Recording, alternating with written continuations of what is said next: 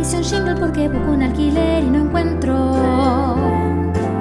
En el último lugar que pregunté me pidieron tres recibos de sueldo. Pasa de tres personas diferentes. Yo no sé si me expliqué. Necesito dos ambientes, no pedí la Torre Eiffel. Yo buscaba algo por San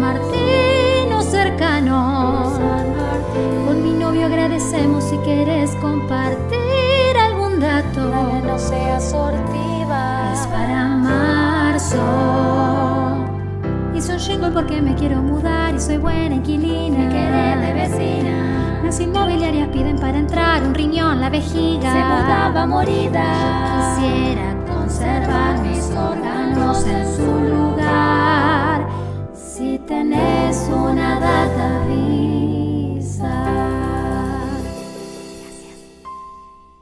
Y eso que acabamos de escuchar, además de ser una delicia sonora con la voz privilegiada que tiene esta mujer que está cantando, también es una realidad muy cruda que nos toca atravesar a todos los inquilinos y seguramente le pasa a muchísima gente más a la hora de tener que afrontarse a un alquiler y correr con todos los avatares que eso implica. Afortunadamente, una ley de alquileres hizo avanzar un montón respecto de esta cuestión, pero todavía falta avanzar muchísimo más. Estamos aquí con Emanuel Canelli, presidente de la Asociación de Inquilinos, que nos va a poner al tanto acerca de varias cuestiones al respecto. ¿Cómo estás? ¿Qué tal? ¿Cómo estás, Rulo? días. Bienvenido. Muchas gracias. Bueno, gracias por venir antes que nada. Y viste todo lo que acabamos de escuchar, este jingle maravilloso que no lo puedo dejar de cantar en mi mente y lamentablemente cuenta una realidad bastante molesta que nos toca atravesar. Sí, sí, sí, totalmente. Nosotros como personas que alquilamos, jóvenes, familias y demás, siempre es muy difícil afrontar lo que es eh, el alquiler, ¿no? Mes a mes, eh, hasta incluso, bueno, ahora en, en el censo seguramente vamos a conocer, ¿no? Lo que es en una unidad habitacional que se conformen varios hogares, ¿no? O sea, Claro. eh, de amigos que, que se juntan y amigas que se juntan para poder afrontar los gastos básicos de un alquiler, el costo inicial eh, y lo que es mes a mes y todo lo que también conlleva eh, de servicios que uno tiene que contratar y pagar para, para poder afrontar eh, las cuestiones básicas de, la vida de uno, ¿no?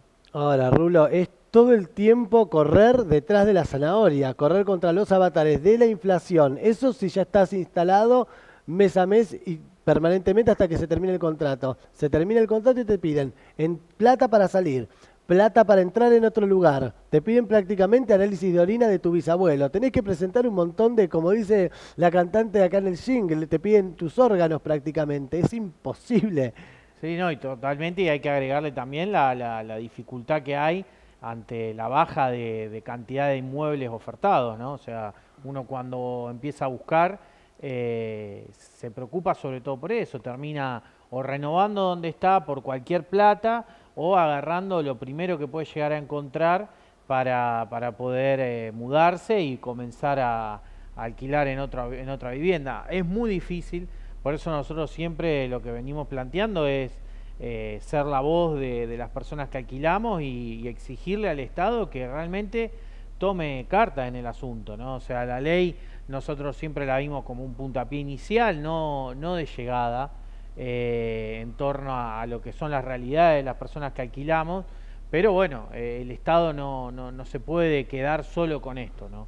Eh, Rosario es una de las ciudades que, que tiene mayor cantidad de permisos de construcción en nuestro país, que eso se traslada en, en edificios que luego cuando, cuando se inauguran y se compran las unidades no se terminan ocupando y genera toda una distorsión en el mercado que hace que, los precios estén por las nubes. Si bien, como bien decimos, es un puntapié inicial la ley, tiene muchas cosas positivas, como que por tres años eh, estamos en un lugar, antes era dos años, durante todo un año pagamos lo mismo, pero bueno, a la hora de que, que toca los ajustes interanuales se hace muy difícil. Y sobre todo el problema siempre de fondo termina siendo la cuestión salarial, la cuestión que, que- que golpea a todas las familias que alquilan y a los inquilinos, que la, su mayoría son trabajadores eh, o trabajadoras que, bueno, no, no, no, les alcanza para llegar a ni siquiera a mitad de mes, ¿no? Inclusive te escuché decir en alguna entrevista que eso demora también el proceso de independización de muchos jóvenes que están estudiando o que están en su primer trabajo, afrontando su primer empleo y con lo que ganan no pueden despegarse del hogar de, de la casa paterna porque no llegan con los gastos, porque no solamente el alquiler, son los gastos fijos, es comer todos los días, es pagar la luz, el gas y todo el resto de las cuentas que también sufren los avatares inflacionarios.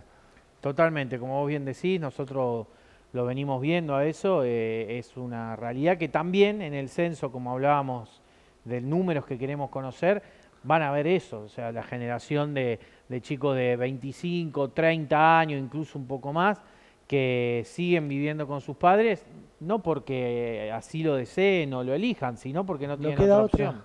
Totalmente, eh, un poco hasta incluso en el tono del jingle y demás, de, estas bromas que se hacen del alquiler, hasta incluso nos han eh, contactado gente y demás que no se termina de separar con su pareja porque si no tiene que afrontar el alquiler. Y es todo un, tema más a la hora de, realizar la vida, ¿no? O sea, es muy importante el alquiler en las ciudades como Rosario que son ciudades que atraen a, muchos trabajadores, a muchos estudiantes y realmente se hace, es muy difícil, eh, es muy difícil comenzar la vida de un joven eh, teniendo que afrontar estos costos, ¿no? Ahora, hablando de costos, los aumentos, estuve leyendo, es de un, de un ciento, suponete, un departamento de dos ambientes, el aumento fue de un 111% de un año a otro. Exacto. Los aumentos de alquileres. Hoy en día, suponete, te pregunto como para saber precios, un monoambiente, a grandes rasgos, ¿cuánto me sale? Eh, en Rosario eso estudio lo hace el Centro de Estudios Calarini Ortiz, genera como si fuera un promedio de, los valores y aproximadamente está alrededor de 45, 50, de dos ambientes está 55, 60, tres ambientes ya un poco más de hablando arriba de 70 y lo que se traslada también a los costos iniciales, ¿no? A los, costos, iniciales son muy altos y la gran mayoría se lo lleva la la comisión inmobiliaria, que es lo que venimos batallando desde hace tanto tiempo, intentando, bueno, que, se, primero que se calcule como corresponde y segundo que lo, abonen los propietarios. De todo lo que vienen batallando desde la Asociación de Inquilinos, ¿qué es lo más urgente? ¿Qué lo, porque son varias cosas, obviamente, esto conlleva un montón de cuestiones. ¿Qué es lo más urgente? Bueno, no, tenemos varias iniciativas que ahora, eh, de cara a un año electoral, esperamos tener respuestas de, de por lo menos se traduzcan en promesa de campaña y después exigirlo durante la gestión que viene y, eh, este año que tiene que ver con las viviendas ociosas, alguna manera de generar eh, algún tipo de registro de estas viviendas ociosas, conocer cuáles son, que, les impongan algún tipo de pena por tenerla en la casa vacía durante una X cantidad de tiempo y también eh, algún tipo de premio a aquellos propietarios que, que, tengan la casa en alquiler, ¿no? También entendemos de que, bueno, hay muchos propietarios que eh, todos los años tienen su casa habitada y merecen algún tipo de, reconocimiento por parte del Estado. Y, bueno, también eh, empezar a, debatir a nivel nacional que sería el control de los primeros 12 meses. Justamente, eh, los graves problemas que estamos teniendo son todas aquellas cuestiones que hoy por hoy la ley no regula, que tiene que ver con lo que piden en los primeros 12 meses de alquiler y las viviendas que optan en no ponerla en alquiler y dejarla vacía hasta que, bueno, haya un precio que consideren que, vale la pena alquilarlo. Y bien sabemos que, bueno, están ocupando espacio eh, físico de, nuestra ciudad y tenemos el derecho de, de habitarlas, ¿no? Por supuesto. Por supuesto, y que las personas también puedan realizar su vida, porque la cuestión habitacional es fundamental. Tener una casa, tener un techo y todo eso. Ahora, Falta avanzar mucho más, pero también se obtuvieron grandes derechos a través de la ley de alquileres. ¿Qué más es lo que se pudo conseguir a través de esta ley? Bueno, se, incrementó la cantidad de años, de dos años pasó a tres años. Entendemos que tiene que ser incluso más a nivel mundial, es más años, es cinco años y, demás. Acá se opta, el mínimo es tres años y se, se firman los contratos por tres años. Se ha modificado también esto de que ya no es unilateralmente quien marca los, los aumentos, sino que lo hace el Banco Central a través de, bueno, de variables de la economía, que, que, eso quizá hoy por hoy es, es una situación compleja por, por la crisis en la cual estamos, pero sí es una vez al año, que antes era cada seis meses y golpeaba el bolsillo mucho más seguido. Ahora nos da por lo menos un, un respiro para poder acomodarnos y esperar el nuevo aumento. Y después también tiene que ver con las expensas, ya se quedó claro que las expensas ordinarias las tiene a cargo el inquilino y las extraordinarias a cargo del propietario.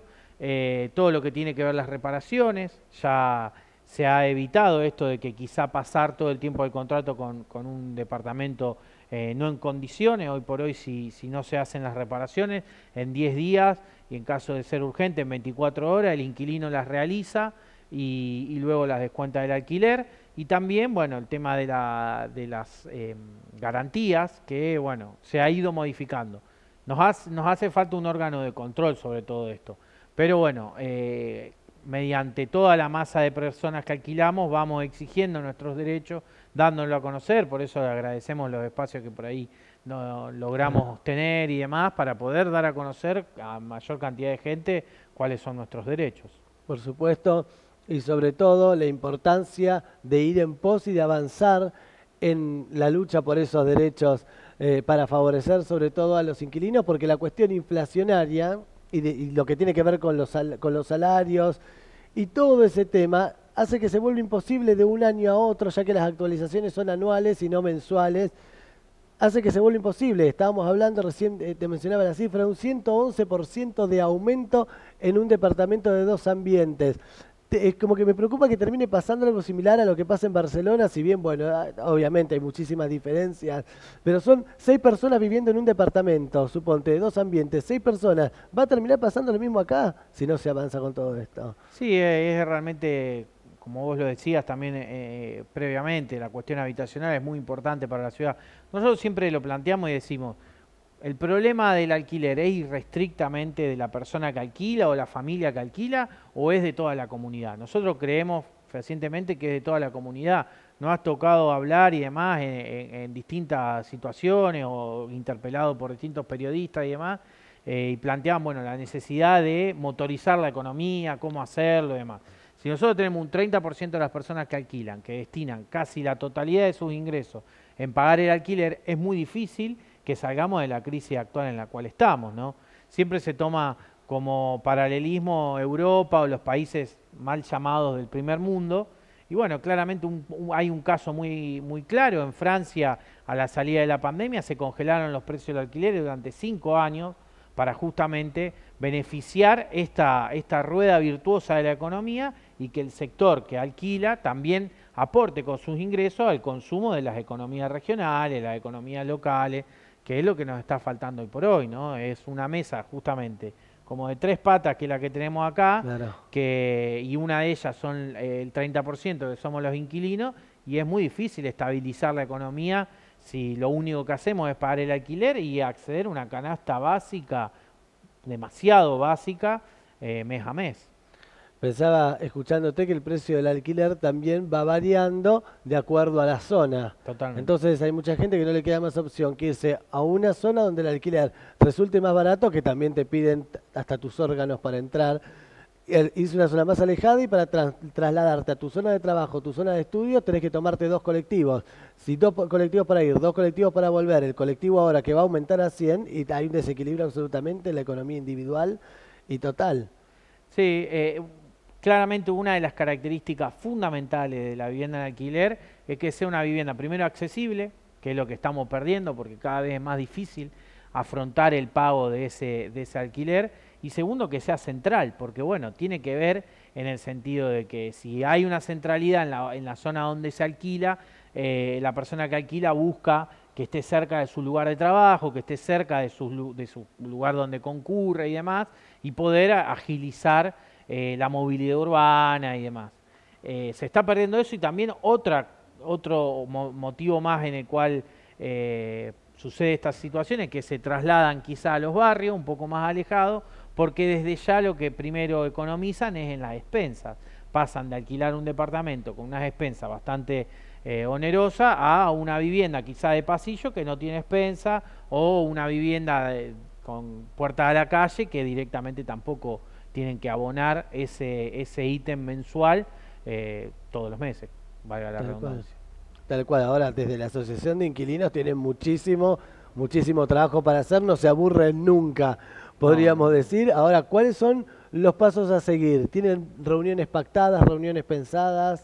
Bueno, sí, eh, nosotros, a todas las personas que, que, alquilan y se quieren ir interiorizando y demás, eh, nosotros vamos subiendo eh, distintas publicaciones en nuestras redes sociales, los invitamos a que nos sigan a Asociación de Inquilinos de Rosario en Facebook, en Twitter, en Instagram, que ahí vamos subiendo eh, distintas cuestiones que hacemos, distintas informaciones. Siempre lo más importante es, ante toda esta realidad, estar organizados. Muchas veces hay personas que, alquilan, que nos exigen que demos respuestas que claramente las entendemos por la, por la necesidad que una persona que alquila atraviesa, pero es cuestión del Estado, ¿no? El Estado es el que tiene que estar eh, dándonos estas respuestas que, muchas veces no nos atienden el teléfono o nos atienden el teléfono y dicen, bueno, sí, ya vamos a ver. Nunca eh, podemos llegar a, con algunos interlocutores efectivamente a, darle la solución, ¿no? Pero siempre estamos tratando de defender eh, los derechos que hasta ahora venimos consiguiendo. Y siempre se mantiene en movimiento, afortunadamente. Exactamente. Bien, esperemos que próximamente salga un jingle acerca de la fortuna y la dicha que produce alquilar de una manera accesible, ágil y resolutiva.